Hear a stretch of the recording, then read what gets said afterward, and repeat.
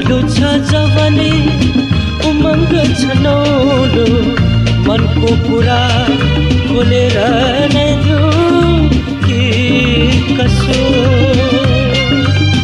आएकाको के हो?